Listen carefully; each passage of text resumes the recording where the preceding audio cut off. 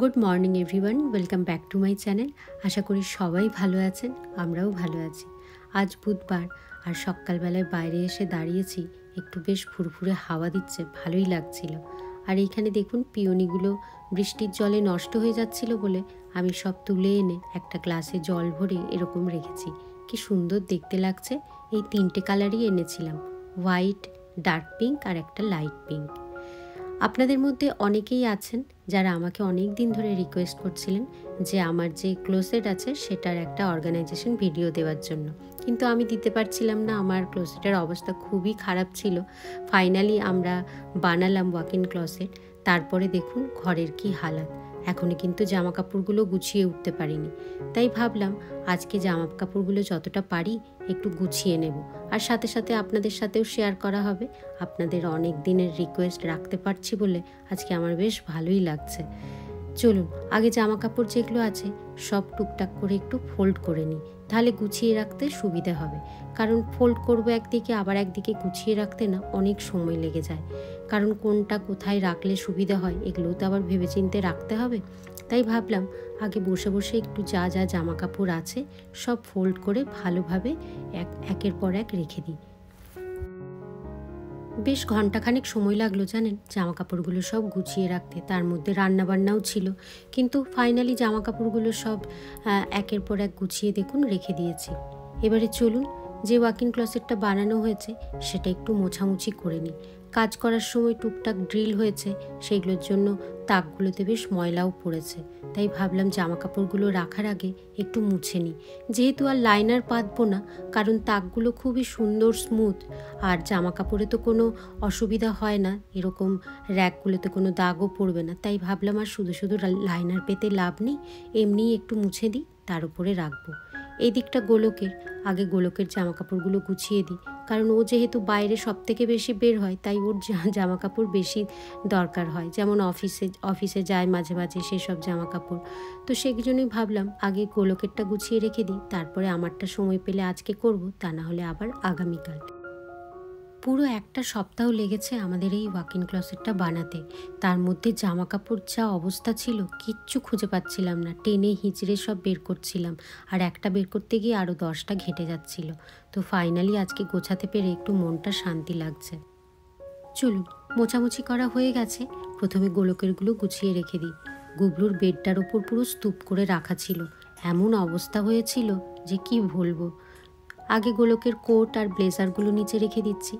আমরা এইভাবেই প্ল্যান করে বানিয়েছি যে শার্ট আর ব্লেজারের জন্য কতটা জায়গা লাগবে বা উপরে গোলকের যে ফর্মাল প্যান্টগুলো আছে সেগুলো রাখার জন্য কতটা জায়গা লাগবে সেই অনুযায়ী কিন্তু আমরা এই রডগুলো লাগিয়েছি। গোলকেরগুলো রাখা হয়ে যেতে আমারও কিছু জিনিস এদিক ওদিক হয়েছিল। ভাবলাম এই সাইডে আগে টুকটাক এনে রেখে দিই, তারপরে আবার গোলকেরগুলো এনে গোছাবো। সব কিছু ফোল্ড করে রাখা যাবে না, তাই কিছু জিনিস হ্যাঙ্গারেই রাখব। তাই প্রথমে ঠিক করেছি যে আমার ড্রেসগুলো হ্যাং, এরকম হ্যাঙ্গারে করেই ঝুলিয়ে রাখব। কারণ ড্রেসগুলো ফোল্ড করে রাখতে অসুবিধা হয়, তাই হ্যাঙ্গারে করে রাখলে ভালোই হবে।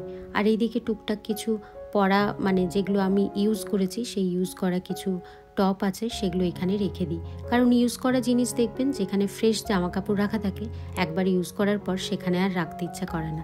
তাই ইউজ করার জন্য ওপরের র্যাকটা করেছি। এখানেই ইউজ করা জামা কাপড়গুলো খুলে রাখি, আর এখানে কিছু এক্সট্রা হ্যাঙ্গারও রেখে দিচ্ছি। পরে আবার ইউজ করতে সুবিধা হবে মানে যখন দরকার হবে। চলুন, এখানেও নিচেও কিছু রেখে দিলাম। গোলকের কিছু পরা জামা কাপড় ছিল মানে ইউজ করা, সেগুলো এই দিকটাই করেছি। এই দিকের র্যাকটাতে সাধারণত রেগুলার ইউজের জামা কাপড় আর যেগুলো বাইরে থেকে পরে এসে খুলবে, সেই জামা কাপড়গুলো এই দিকে রাখবে। আর কিছু ভালো জামা কাপড় যেগুলো আছে, সেগুলো সবেই আলমারিটার মধ্যে থাকবে। যেহেতু এখানে অনেকটাই জায়গা আছে, তাই সব কিছু আলাদা আলাদা করেই রাখছি। যেমন কিছু গরমে পরার জামা, হাফ শার্ট বা যেগুলো ঠান্ডায় পরা, যেগুলো সুতির নয়, সেই জামাগুলো সব আলাদা আলাদা করে রাখছি বা টি শার্ট যেগুলো আছে, সেগুলো সব এরকম আলাদা আলাদা করে রাখছি, তাহলে ওর খুঁজতে সুবিধা হবে। যখন ক্লোসেটটা গোছাতে আসি, তখন আমাকে গোলক বলেছিল, ওর ম্যাক্সিমাম জিনিস কিন্তু ওপরের দিকে তাকে রাখতে। যেহেতু ও হাইটে অনেকটাই লম্বা, তাই নিচু হয়ে হয়ে করতে ওর খুব অসুবিধা হয়। তাই এরকম জায়গায় রাখছি যেখান থেকে ওর নিতে সুবিধা হবে। আর নিচের দিকে বা একদম ওপরের র্যাকগুলোতে সেগুলোতে রাখব ওর যেগুলো ইন্ডিয়ান ড্রেস আছে সেগুলো। সেগুলো তো খুব একটা ইউজ হয় না, খুব কম, তাই সেগুলো ওর হাতের নাগালের বাইরেই থাকবে। যেমন নিচে আর ওপরে বললাম, আর এইখানে রেখে দিচ্ছি ওর রেগুলার পরার যেসব ড্রেস ঘরে যেগুলো পরে। আমার দিকে তিনটে ড্রয়ার বানানো হয়েছিল, এতটাই জায়গা ছিল। আমি গোলককে প্রথমে বলেছিলাম, তোমার যেসব ইনারগুলো আছে মানে চারডি বেনিয়ান সেগুলো সব এইখানে রাখব। কারণ দেখবেন এই চারডি বেনিয়ান না সবসময় বাইরে থাকলে দেখতে ভীষণ বাজে লাগে, অগোছালোও লাগে দেখতে, আর সবার সামনে ভীষণ বাজেও লাগে। সেই জন্য এগুলো যদি এরকম ড্রয়ার বা কোনো আলমারির ভেতরে রাখা যায়, বা কোনো অর্গানাইজারে করে রাখা যায়, জিনিসটা ছড়ানো ছেটানোও লাগে না, আর কেউ চট করে দেখতেও পায় না। তাই ভেবেছিলাম ড্রয়ারে রাখব। কিন্তু প্রথমে তো ড্রয়ারে গুছিয়ে রেখেছিলাম, কিন্তু পরে আবার ড্রয়ার থেকে সরিয়ে ওর আলমারিতেই রেখে দিয়েছিলাম, কারণ আমার ড্রয়ারে জায়গা কম পড়ছিল। আর এইখানে গোলকের যেসব ফর্মাল শার্টগুলো আছে, সেগুলো সব এখানে এখন গুছিয়ে রেখে দিচ্ছি। একদিকে ওর ব্লেজারও থাকবে, একদিকে ওর ফর্মাল শার্টগুলো থাকবে। তাহলে যখন অফিস যাবার আগে ব্লেজারের সাথে কোন শার্টটা পরবে, সেটাও বেছে এখান থেকে সুন্দরভাবে দেখে পরে নিতে পারবে।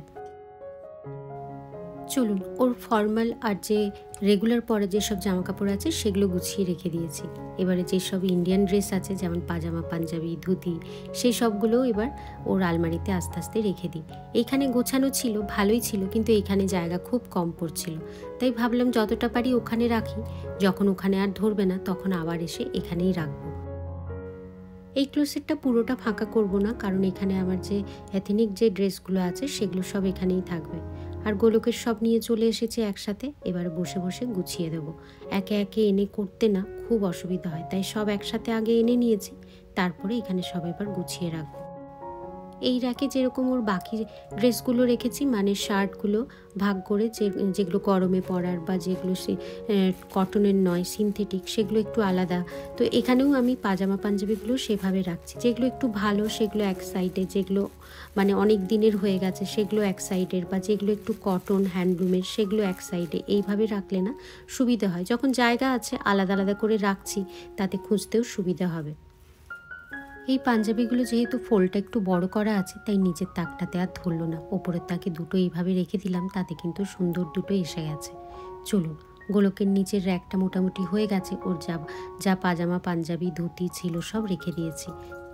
দু একটা জহরকোট ছিল, সেই জহরকোটগুলো আর ফোল্ড করে রাখলাম না, কারণ ফোল্ড করে রাখলে না দাগ পড়ে যায়, তাই এইভাবে হ্যাং হ্যাঙ্গারে করেই রাখলাম।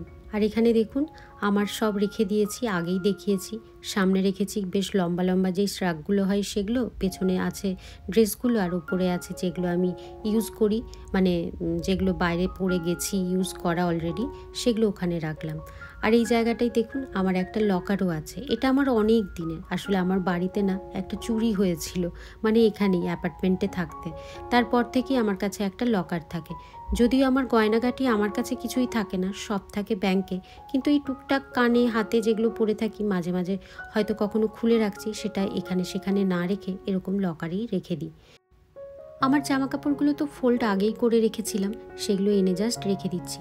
তবে ওই একইভাবেই রাখছি, যেগুলো একটুখানি কম ইউজ করি, সেগুলো এক সাইডে বা যেগুলো কটনের সেগুলো এক সাইডে যেগুলো একদম সিনথেটিক বা খুবই ভালো, সেগুলো এক সাইডে সোয়েটারগুলোও দেখুন, এক সাইডে করে রেখেছি, এখন সোয়েটারগুলোও রেখে দিলাম, কারণ সোয়েটার তো এখন এই সিজনে আর লাগবে না। আবার চার পাঁচ মাস পর আবার ইউজ হবে সব। এখানে সোয়েটারের র্যাকেই রেখে দিলাম। আমার যেসব স্টুলগুলো থাকে সেগুলো।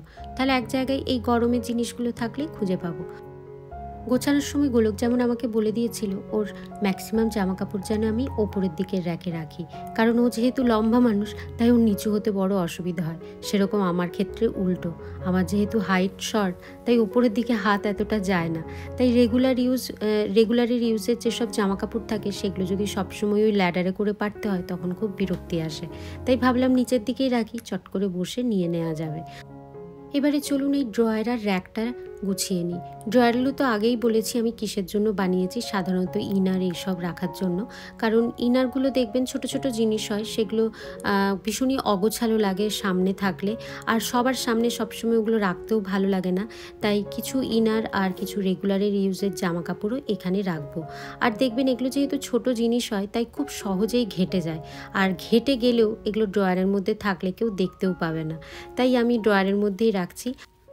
আর ইনারের মতো ছোট ছোট জিনিস যেগুলো আমরা রাখি, সেগুলো রাখার আর একটা সুন্দর আইডিয়া হলো এরকম যদি অর্গানাইজারে করে রাখা যায়। অর্গানাইজারে করে রাখলে না, এরকম ছোট ছোট জিনিসগুলো কখনো ঘেটে যায় না, বেশ ভালো থাকে।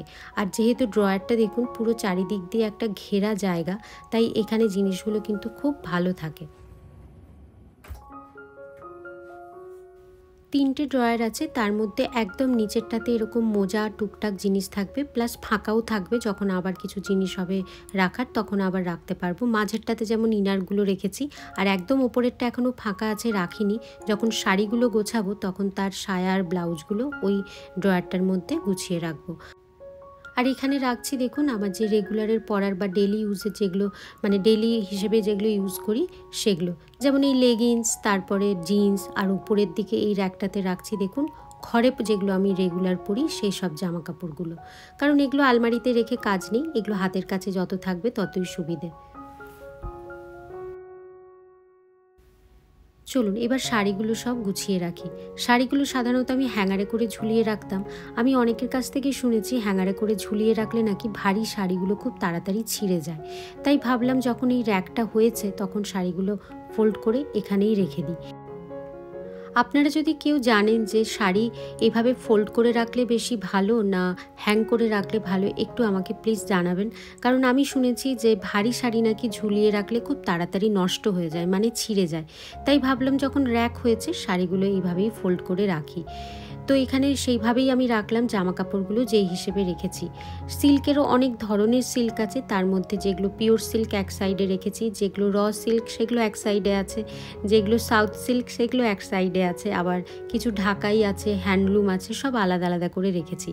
তাতে খুঁজে পেতে সুবিধা হয়। আসলে আমি নিজেই গুছিয়ে যেহেতু রাখছি, তাতে কিন্তু মনেও থাকবে। তো সেই জন্য এইভাবে রাখা। আর এখন যেহেতু অনেকটা জায়গা আছে, তাই এইভাবে রাখছি। দেখুন, শাড়িগুলো রেখেও কিন্তু ওপর ওপর অনেকটাই জায়গা আছে। যখন আরও বেড়ে যাবে, তখন এর ওপরেও আবার রাখতে পারব। তাছাড়া তো বাকি ক্লসেট আছে, সেখানেও কিছু কিছু হালকা শাড়ি ঝুলিয়ে রাখতে পারব। অন্যান্য জামা কাপড় নিয়ে এতটা চিন্তা হয় না। আসলে শাড়িগুলোর প্রতি বোধ হয় আমার বেশিই মায়া। আসলে আমার কেন? আমার মনে হয় সব মেয়েদেরই তাই। শাড়ির প্রতি একটু বেশিই মায়া। শাড়ি, গয়না দেখবেন? তাই শাড়িগুলোকে একটু ভালোভাবেই গুছিয়ে রাখছি যাতে নষ্ট না হয়। আর এইখানে ড্রয়ারটাই বলেছিলাম, প্রথমের ড্রয়ারটাতেই আমি আমার সমস্ত ব্লাউজ, তারপরে সায়া যেগুলো আছে, সেগুলো সব এখানে গুছিয়ে রাখব কাছাকাছি। একদিকে শাড়িও থাকল, একদিকে সায়া ব্লাউজ থাকল। তাহলে চট করে খুঁজে এখান থেকে নিতেও সুবিধা হবে কোনটার সাথে কোনটা ম্যাচ করে দেখতেও সুবিধা হবে। এখানেই মোটামুটি সব হয়ে যাবে। যদি না হয়, তাহলে নিচের ড্রয়ারটা আছে, সেখানেও কিছু রেখে দেবো। এখানে দেখুন, ব্লাউজ বেশি, আমার সায়া কম। কারণ সায়া আমি দেখেছি, একটা সায়াতেই মোটামুটি অনেকগুলো শাড়ি চলে যায়। একই কালারের কাছাকাছি কালার হলে দেখবেন, সেই একই সায়াতে চলে যায়। তাই সায়া এখানে বেশ কমই আছে, তুলনায় ব্লাউজ বেশি। যদি ব্লাউজ আরও বেড়ে যায়, তখন আবার নিচের র্যাকে রেখে দেবো মানে নিচের ড্রয়ারটাই। এটাতেই আপাতত হয়ে গেল। এক দুটো সায়া আছে, সেটা ধরে নিয়ে আর ভাবছি নিচেই রেখে দেবো। চলুন, সমস্ত ফাইনালি গোছানো হয়ে গেছে। এখানে যে আগেই বলেছিলাম, গোলকের সমস্ত ফর্মাল রেখেছি, ফর্মাল ড্রেসগুলো এই সাইডটাতে, যাতে ওর অফিসের সময় খুঁজে পেতে সুবিধা হয়। এমনকি এই সাইডে, এই জায়গাটাতে ওর যে টাইগুলো আছে, সেগুলোও রেখে দিয়েছি, যাতে চট করে খুঁজে পেতে বা ম্যাচ করে পড়তে সুবিধা হয়। আর এই পাশে যে ওর আলমারিটা আছে, এখানে ওর রেগুলার বা যেগুলো ভালো জামা কাপড় সেগুলো রেখেছি। আগেই দেখিয়েছি, ওপরে ওর নিতে সুবিধা হয় বলে ওপরে এইসব টি শার্ট এগুলো রেখেছি, আর যেগুলো কম ইউজ হয় সেগুলো নিচে রেখেছি। এগুলোর ওপরগুলো দেখুন এখনও বেশ ফাঁকা। এখানেও ফাঁকা, উপরেও বেশ ফাঁকা আছে। আরও জামা বাড়লে তখন আবার ওখানে রাখতে পারব। এই র্যাকটা তো পুরোটাই ফাঁকা। চলুন, এই দিকটা হয়ে গেল গোলকের সমস্ত কিছু। এবার নিচেরটা দেখাই আর একবার এখানেও দেখুন, নিচের র্যাকটা এখনও অনেকটা ফাঁকা আছে। এত কিছু রাখার পরও কিন্তু উপরে ওপরে এখনও অনেক রাখার জায়গা আছে। আমি একটু ফাঁকা ফাঁকা করে রেখেছি, যেহেতু অনেকটা এখন জায়গা আছে। গোলকের যেসব চাড্ডি বেনিয়ান সেসব এই, দেখুন এখানে যে অর্গানাইজারটা আছে এইখানে করে রেখে দিয়েছি।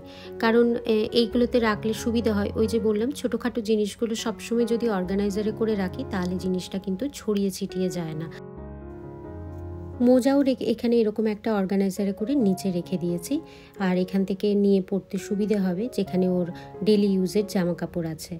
এটা তো আগেই বললাম, সমস্ত ডেলি ইউজের জামা কাপড় আর এইদিকে যেহেতু আমাদের ডোরটা খুলে এই দিকটাই হবে, আর অগোছালো থাকলেও কিন্তু দেখা যাবে না, ডোরটাতে আড়াল হয়ে যাবে। মানে আমাদের এই রুমের যে ডোরটা আছে।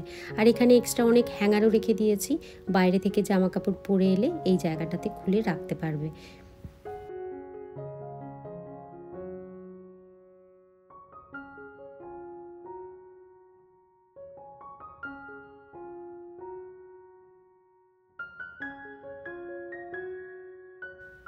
চলুন এবার দেখি আমার সাইডটা কীরকম লাগছে।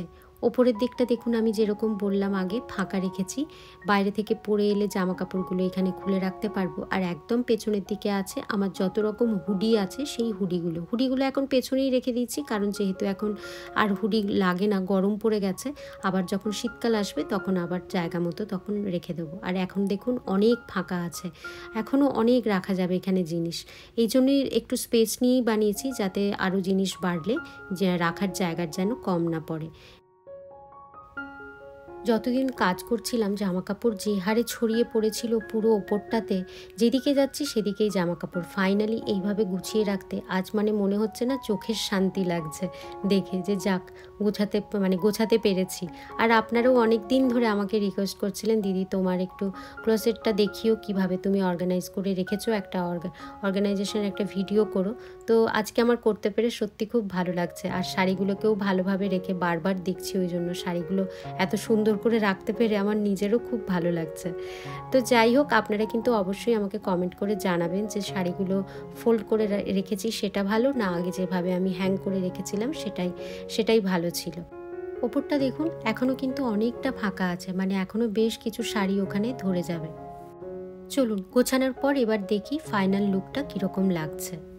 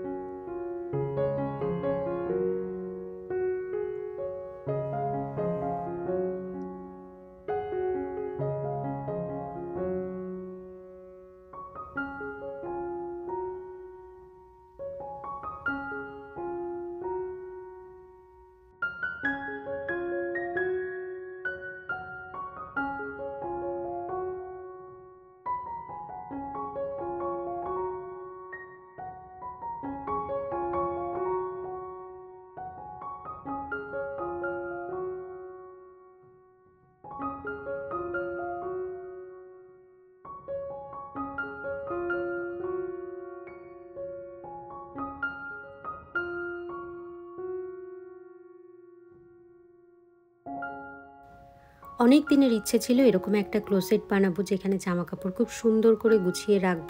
তো ফাইনালি এতদিন পর করতে পেরে আমার নিজেরও খুব ভালো লাগছে আর সেটা যখন আপনাদের সাথে শেয়ার করতে পারছি সেটা আরও ভালো লাগছে। তো চলুন ব্লগটা তাহলে আজ এখানেই শেষ করি। আবার আসছি একটা নতুন ব্লগ নিয়ে। আর আমার এই ব্লগটা আপনাদের কীরকম লাগল, আমার এই অর্গানাইজেশন আইডিয়া বা ভিডিওটা আপনাদের কীরকম লাগল আমাকে অবশ্যই কমেন্ট করে জানাবেন। ভালো লাগলে একটা লাইক করে দেবেন আর যারা নতুন বন্ধু অবশ্যই সাবস্ক্রাইব করে দেবেন। আজকের মতো বাই বাই